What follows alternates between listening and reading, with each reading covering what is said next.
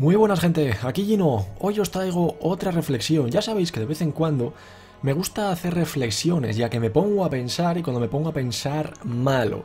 Y me gusta ir comentando los temas interesantes que se me vayan pasando por la cabeza, aquí en plan colegueo, ¿no? Poniendo nuestras ideas en común y hablando de buen rollo. Y esta semanita he estado pensando. He estado pensando con relación a los juegos que han ido saliendo este año y que faltan todavía por salir. Me he puesto a pensar en esto. Os voy a decir una serie de títulos. A ver si vosotros le encontráis algo en común. Fallout 4, Uncharted 4, The Witcher 3, Mass Effect 4, Gears of War 4, Dark Souls 3, Final Fantasy 15, FIFA 16, NBA Live 16, NBA 2K 16, Madden 16, este tipo de títulos. ¿Qué tienen en común? Que ninguno de ellos es nuevo. Todos son sagas de videojuegos, ¿no? Y es lo que quiero hoy hablar un poquitín de esto. La falta de ideas en las desarrolladoras de videojuegos hoy en día. Vamos a comentar un poquito esto porque creo que puede ser muy interesante. Vamos a meternos en materia, señores, vamos allá.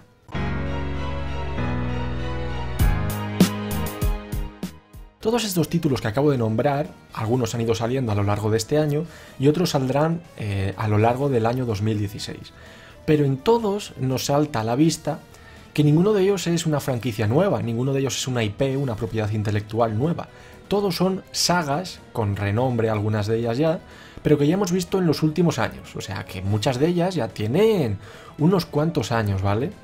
Pero seguimos viendo parte tras parte y trozo tras trozo, como pasa también, por ejemplo, con eh, of War y todo este tipo de, juegos. Solo he querido nombrar unos cuantos para, para meteros en, en el tema.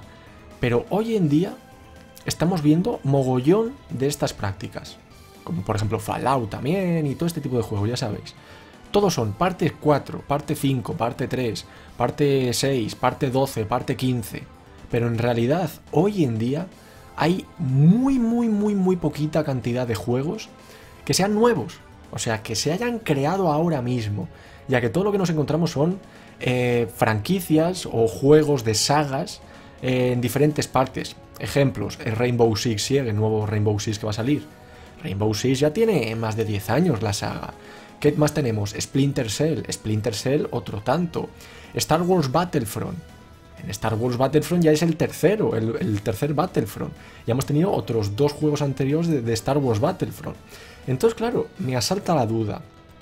Hoy en día, ¿las desarrolladoras de videojuegos se han quedado sin ideas? ¿Vosotros pensáis que hoy en día se siguen haciendo juegos de sagas porque venden mejor?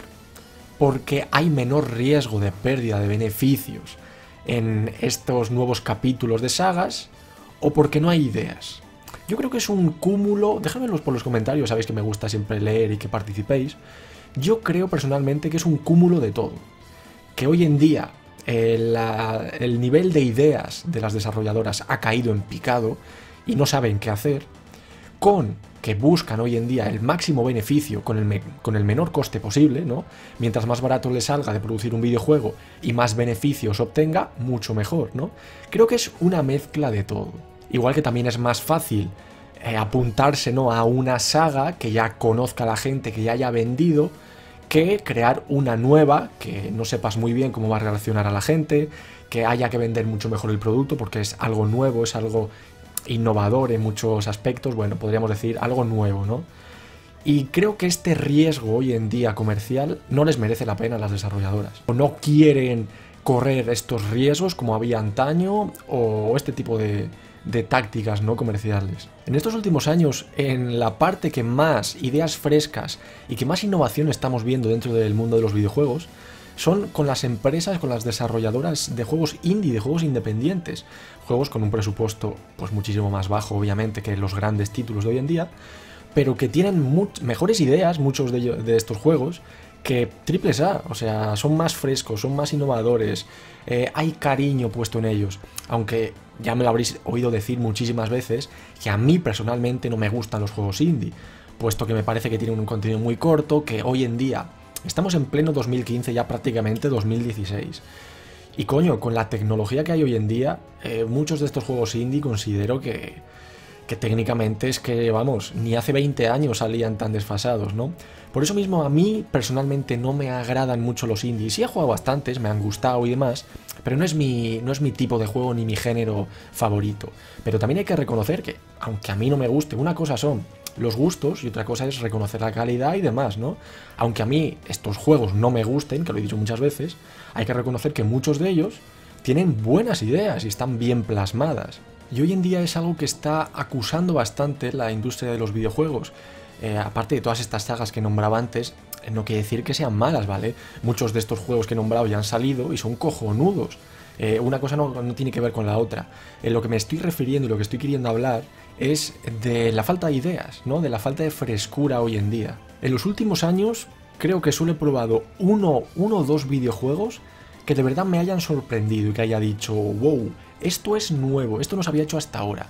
Uno de ellos eh, corre a cargo de Platinum Games, ya sabéis, empresa especializada en juegos hack and slash. Bueno, pues es para Wii U, se llama The Wonderful 101. Y cuando salió nadie daba un duro por él. Eh, todo el juego va eh, con colores muy vivos, en plan muñequitos pequeños, caricaturas. Y nadie hubiese dado un duro por él, ¿vale? Y un, mes antes de que saliese el juego a la venta pusieron una demo en, la tienda virtual de Wii U, la cual me descargué y lo probé. Y fue, o sea, un shock para mí y para muchísima gente también, porque no nos no nos esperábamos esa calidad, ¿no? Era innovación pura y dura. Es uno de los juegos que más me ha sorprendido en los últimos años en cuanto a frescura, ¿no? Ideas frescas, cosas que no se hayan visto hasta ahora. Puesto que en ese juego eh, podíamos incluso hacer los ataques con la pantalla táctil de la Wii U. O sea, creo que estaba muy bien llevado. Y hoy en día es que de este tipo ves muy poquitos juegos. ¿Por qué? Porque son difíciles de vender, digamos, ¿no? porque son muy arriesgados, no sabes cómo va a reaccionar el público, la gente que te lo vaya a comprar. Entonces muchas empresas no quieren correr esos riesgos y van a lo seguro, pero tan a lo seguro que incluso hoy en día, es más, estamos viendo claros ejemplos como Rainbow Six, Star Wars Battlefront, eh, Call of Duty en, en pasada generación y demás, que no, ya no te sacan ni campañas en los videojuegos. Puesto que, ¿por qué?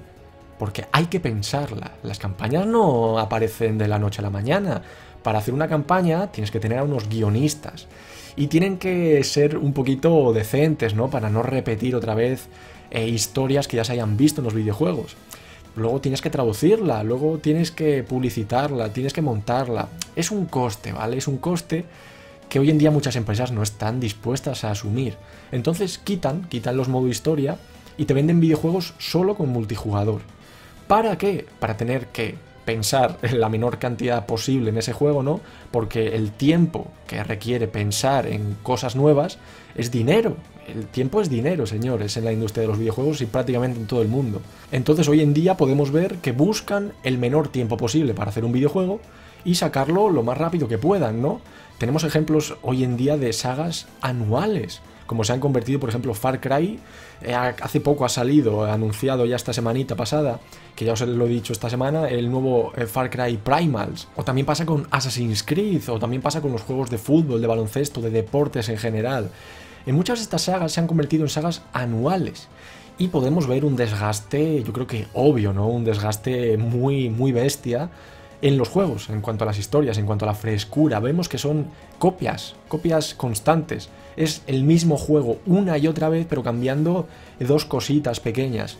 Por tanto, considero que la idea, la frescura, el pensar en cosas nuevas, se ha perdido por completo en la industria de los videojuegos. Y creo que solo queda en un pequeño porcentaje, ahora mismo, en, el mundo de los videojuegos indie que obviamente no es para todo el mundo. No sé, señores, cómo va a continuar la, la, industria de los videojuegos, pero a mí estas cosas me duelen de verdad.